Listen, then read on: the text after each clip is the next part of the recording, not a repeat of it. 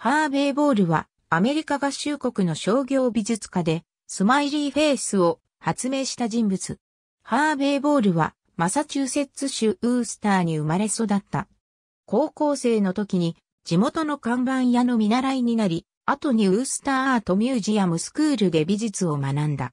州兵として27年間服役し、第二次世界大戦中には沖縄戦にも従軍した。1973年に準将を引退し、陸軍予備軍として6年間服役した。1979年に大佐を引退した。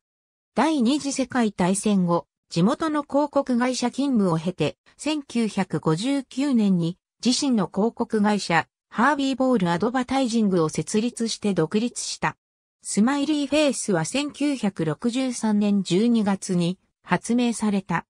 マサチューセッツ州ウースターにあるステート生命保険の関連会社が合併による士気の低下を防ぐ社内キャンペーンとしてポスターやカード、バッジなどで使うデザインをボールに依頼した。ボールは10分足らずでスマイリーフェイスを完成させた。スマイリーフェイスは1970年代初めにブームを巻き起こし、モナリザ以来の笑顔と評された。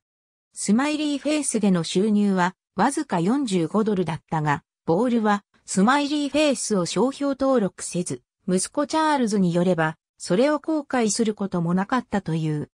しかしその後、スマイルブームは世界規模となり、日本でも1970年に米国の文具商を訪ねた文具メーカー等によって真似られ、日本に導入し、ニコニコマーク、ラブピースとして大流行が作られた。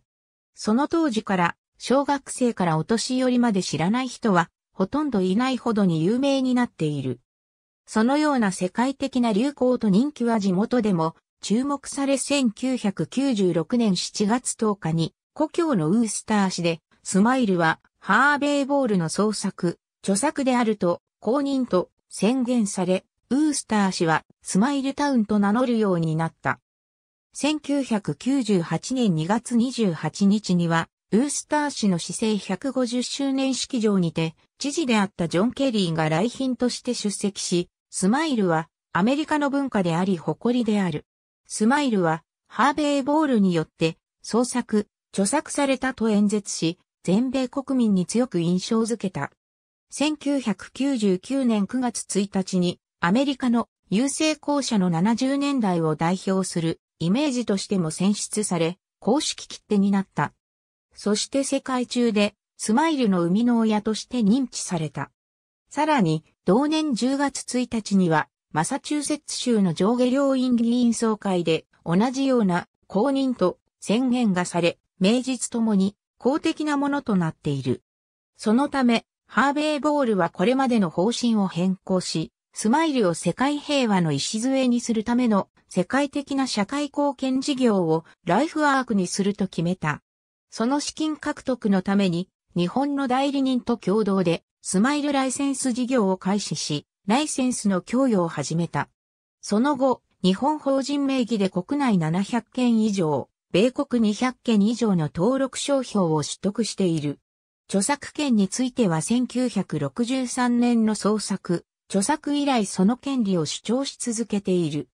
ハーベイボールは2001年4月12日に死去し、そのことは日本の大手新聞社や全世界の新聞でスマイルの生みの親が死去として報道された。それによって世界中でスマイルはハーベイボールの創作、著作であるということが公認となった。ハーベイボールが死去した後、その息子でマサチューセッツ州弁護士であるチャールズ・ボールを会長としてハーベイボールワールドスマイル財団が設立され、ハーベイボールの遺言に基づき、現在、スマイル商品化事業を行い、その利益で財団運営とワールドスマイルデー等のイベント活動を行っている。